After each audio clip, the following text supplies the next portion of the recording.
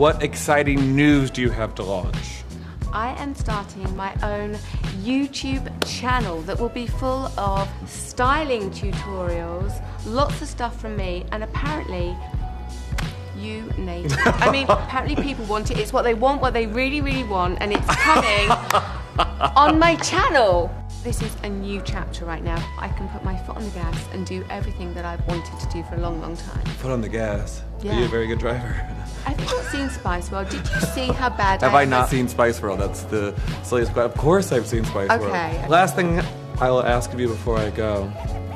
Please sign my Victoria Beckham t-shirt? Absolutely. I have had so many people tagging me on pictures of themselves coming out of bags. it has been hilarious. Happy anniversary. Thank you.